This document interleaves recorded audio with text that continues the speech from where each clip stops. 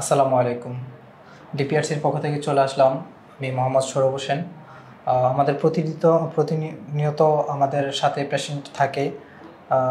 বিভিন্ন রোগ সম্পর্কে আমরা আলোচনা করি।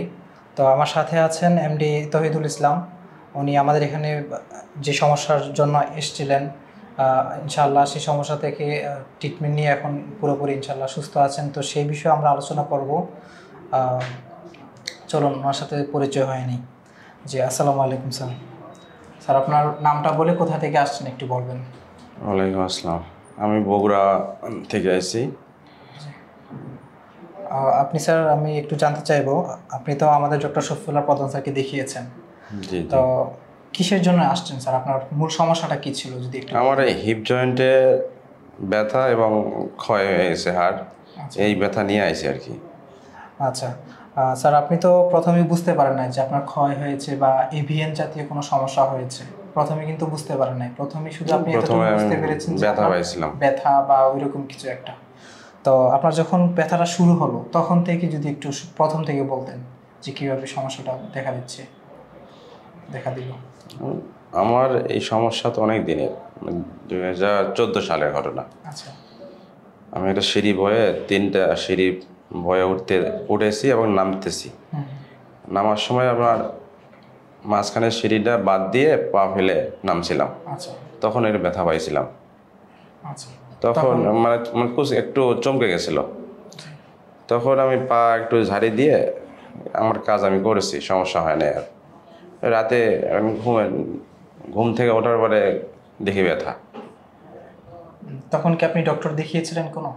তখন কয়েকদিন আমি ব্যথার ট্যাবলেট খাইছি। খাওয়ার পরে সাত আট দিন বা দশ দিনের মাথায় আমি ডাক্তার দেখাইছি। আচ্ছা। ডাক্তার বলছে আপনার ইয়ে করতে হবে এক্স রে করতে হবে আরও অন্য পরীক্ষা আছে পরীক্ষাগুলো করে নিয়ে আসলাম। ডাক্তার দেখল ডাক্তার দেখে বলে যে এই ওষুধগুলো খান ইনশাল্লাহ ঠিক হয়ে যাবেন আর এক মাস পর দেখা করেন। আচ্ছা। এভাবে পরপর আমি তিন চারটা ডাক্তার দেখাইছি চারজন ডাক্তার দেখাইছি। আচ্ছা নিউরো মেডিসিন ছিল তার মধ্যে দুইটা আর দুইটা ছিল অর্থোপেডিক্স ডাক্তার। অর্থোপেডিক ডাক্তার আমি এই চোদ্দ সালের ঘটনা এই পর্যন্ত চারটে ডাক্তার চেঞ্জ করেছি। চারটে ডাক্তারই আমি দুইবার তিনবার করে দেখাইছি। তারা গেলে ওষুধ দেয় ওষুধ খাই ব্যথা কমে ভালো থাকি আর কি। মানে আপনি বলতে চাচ্ছেন যে ডক্টরের কাছে আপনি গিয়েছেন যাওয়ার পর আপনাকে কিছু মেডিসিন লিখে দিছে ওইগুলা খাচ্ছেন যতদিন খাচ্ছেন ভালো থাকছেন আবার বন্ধ হচ্ছে আবার ব্যথাটা শুরু হচ্ছে এমন। আচ্ছা আপনি তো চার পাঁচটা ডক্টরের কাছে গিয়েছেন। ওনারা আপনাকে কি সাজেশন দিল যে এটা এটা কি সমস্যা বা কিসের জন্য এটা হচ্ছে? এরকম কিছু বলেছে ওনারা? প্রথম দিকে বলে নাই। এই লাস্টে এসে যখন আমি হাঁটতে পারতেছি না পা দাঁড়াতে পারতেছি না তখন এই অর্থোপেডিক ডাক্তার বলল যে আপনার যে সমস্যা এই সমস্যা তো ওষুধ খাওয়া সেরার মতো অসুখ না এটা। আপনাকে এটা সার্জারি করা ছাড়া বুদ্ধি নাই। আচ্ছা। তখন আমি চিন্তায় পড়ে গেলাম কি করব? বিভিন্ন জায়গায় খোঁজাখুঁজি করতেছি চিন্তা করতেছি আর কান্নাকাটি করতেছি যে কই গেলে ভালো হবে কই গেলে থাক কী হবে?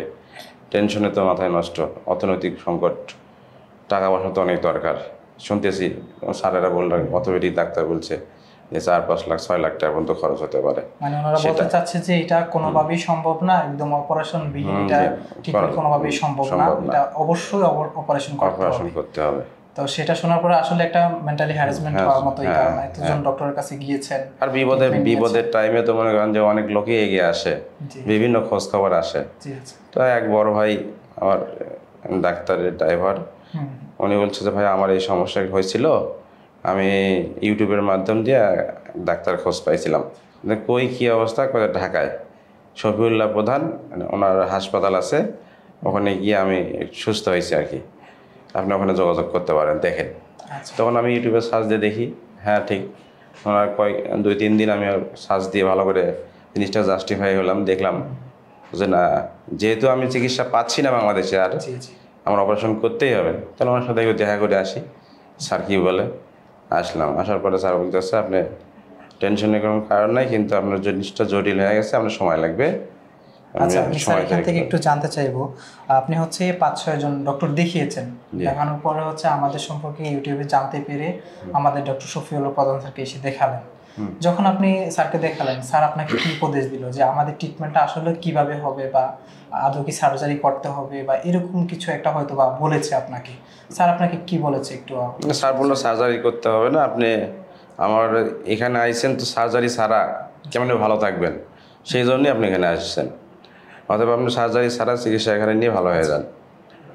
এটাই বলছে উনি স্যার আপনাকে বলেছে হচ্ছে আপনি সার্জারি ছাড়াই হচ্ছে এখানে আমরা মূলত ট্রিটমেন্টটা করব। কোনো রকমের সার্জারি অপারেশন কিছুই করতে হবে না আমরা অপারেশন বিহীন ট্রিটমেন্ট করব সেটাই আপনাকে বলেছে। জি। তো আপনাকে ভর্তি হওয়ার কথা বলেছিল। কতদিন ভর্তি থাকার কথা বলেছে স্যার? স্যার প্রথমে আমি এক মাস আগে আসছি তখন স্যার ভর্তি দেয় নাই। আচ্ছা আচ্ছা। তখন আমাকে ওষুধ দিয়েছিল পরীক্ষা নিরীক্ষা করে এক মাসের ওষুধ দিল ওষুধটা নিয়ে যে খান তারপর এক মাস পরে আমার সাথে দেখা করেন। তো ওই এক মাস ওষুধ খাইতে মোটামুটি পঁচিশ দিন গেছে তারপরে একটু ব্যথা বাড়ছিল। তখন স্যারের সাথে আমি যোগাযোগ করলাম। স্যার বলে আপনি সরাসরি চলে আসেন এখানে। তখন চলে আসলাম।